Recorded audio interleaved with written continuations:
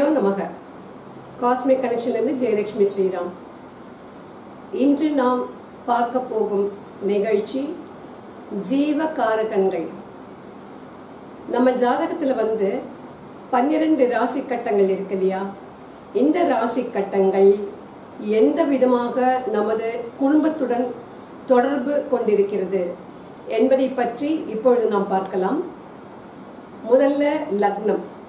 இந்த லக்னம் என்பது ஜாதகரை பற்றி குறிக்கும் ஒரு வீடு. அந்த ஜாதகருடைய குண நலன்கள் அவருடைய தோற்றம் போன்றவற்றை குறிப்பது இந்த லக்னம் என்னும் வீடு. இரண்டாவது வீடு குடும்பக்காரகன். நம் குடும்பத்தில் உள்ளவர்களை குறிப்பது இந்த வீடு. மூன்றாவது நம் உடன் பிறந்தவர்களை குறிக்கும் வீடு. நமது உடன் பிறந்த சகோதர சகோதரிகளை குறிக்கும் இந்த வீடு. நான்காவது தாயை குறிக்கும் வீடு. ஐந்தாம் வீடு அப்படின்னு பார்த்தீங்கன்னா இது குழந்தைகளை குறிப்பது. ஆறாம் வீடு தாய் வழி சொந்தங்களான மாமா சித்தி பெரியம்மா போன்ற உறவுகளை குறிக்கும். இதை தவிர நமது போட்டியாளர்களை குறிப்பதும் இந்த ஆறாவது வீடுதான். போட்டியாளர்கள் அப்படின்னா உத்தியோக ரீதியா தொழில் ரீதியா படிப்பு ரீதியா எந்த ரீதியாக வேண்டுமானாலும் நமக்கு சில போட்டிகள் இருக்கும் இல்லையா? அதை குறிப்பதும் இந்த வீடு தான் பள்ளி கல்லூரியில நமக்கு போட்டி இருக்கலாம். தொழில் செய்யும் இடத்துல போட்டி இருக்கலாம். இது எல்லாவற்றையும் குறிப்பது இந்த ஆறாம் வீடு. ஏழாம் வீடு என்பது பார்ட்னரை குறிப்பது. வாழ்க்கை துணையாக இருந்தாலும் சரி இல்லை தொழில் முறை பார்ட்னராக இருந்தாலும் சரி அதை குறிப்பது தான் இந்த ஏழாவது வீடு.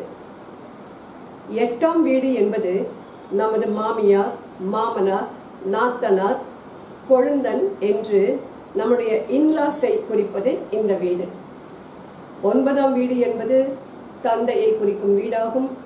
இதை தவிர நமது ஆசிரியர் குரு நமக்கு நல்லதை உபதேசிப்பவர்கள் ஜோதிடர்கள் போன்றவற்றையும் இந்த ஒன்பதாம் வீடு குறிக்கும். பத்தாம் வீடு சிலர் வந்து சொல்வது தந்தை குறிப்பதாக சொல்லப்படுகிறது.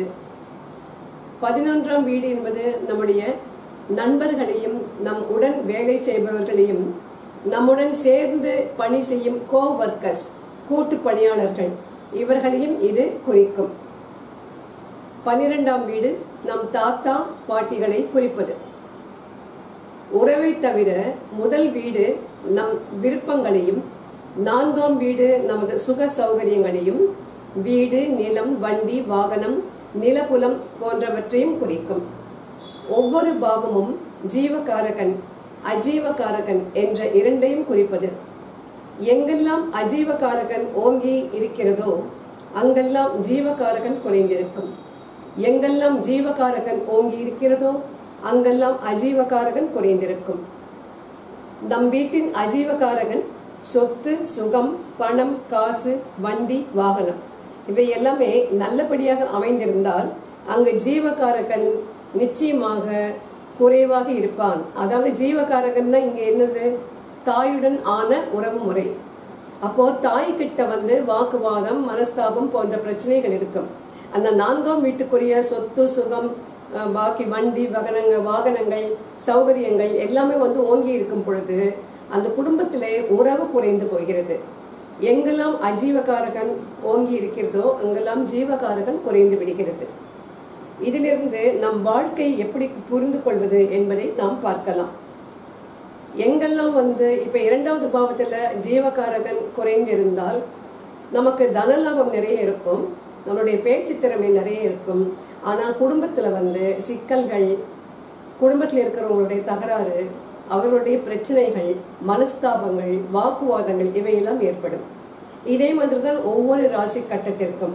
மூன்றாம் பாவம் என்று பார்த்தால் அங்கு அஜீவகாரகன் ஓங்கி இருந்தால் ஜீவகாரகனான நம் உடன் பிறந்தவர்களுடனான பிரச்சனைகள் நமக்கு அதிகமாக இருக்கும். உடன் பிறப்புகளுடன் வாக்குவாதம் விரோதம் சண்டை சச்சரவு சொத்து தகராறு போன்றவை அதிகமாக இருக்கும். இதே மாதிரி ஐந்தாம் வீட்டிலே அஜீவகாரகன் ஓங்கி இருந்தால் நமக்கு அங்க ஜீவகாரகனான ஒரு சத்து குறைந்து விடுகிறது. அதாவது குழந்தைகளுடன் நமக்கு இருக்கக்கூடிய அந்த ஒரு ஒரு சுமூகமான உறவானது அங்க விரிசல் கண்டு போகிறது.